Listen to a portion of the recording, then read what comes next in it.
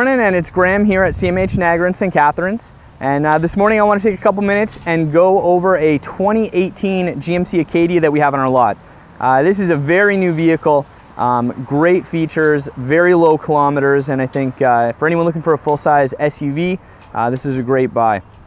So the vehicle is actually part of our manager, manager special list right now, which means we're pricing it below market average uh, significantly. So recently just got reduced to $29,998. And this vehicle has just under 14,000 kilometers on it, so barely driven, which is amazing.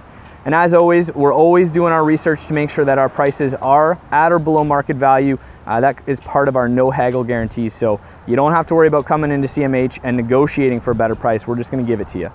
So without taking up too much more time, we're gonna take a couple minutes and take a look at this Acadia. Okay, so here we have the 2018 GMC Acadia.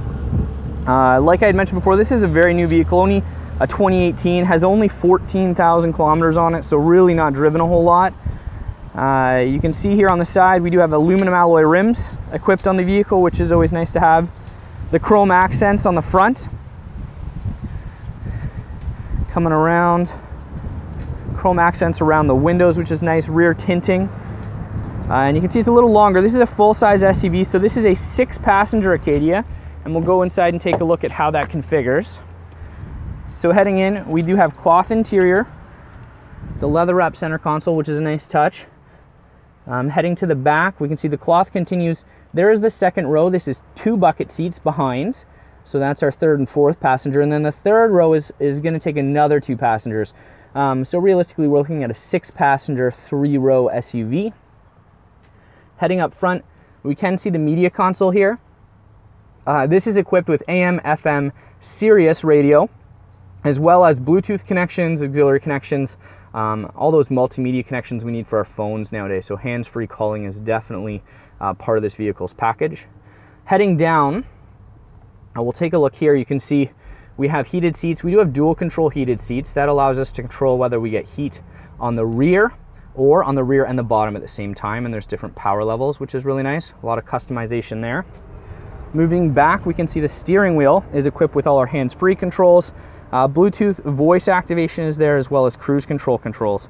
So really handy for navigating through multimedia, making calls, or working with that cruise control. Coming down, we will see, I'm just gonna point this out. This is a little P symbol here. This little P is the rear parking sensors. We can turn those on or off. Um, the vehicle is also equipped with a backup camera and in conjunction with those rear parking sensors does make it a lot easier to back up and navigate these larger SUVs. Moving out, we'll see uh, power controls on our driver's seat, uh, which is always nice for customizing. And then down here, we can see a power uh, lift gate. And we can set uh, how the open and close works on that, um, but we'll take a look at that in a moment. So we'll just pop out of the front and heading into the rear, we'll just take a quick look. These are our two bucket seats, still cloth, um, but very spacious second row uh, for our, our passengers. Uh, and like I said, two people can sit back here in the buckets with a lot of legroom, which is always nice. Now we're gonna head into the back. Like I mentioned, we do have power lift gate on this vehicle.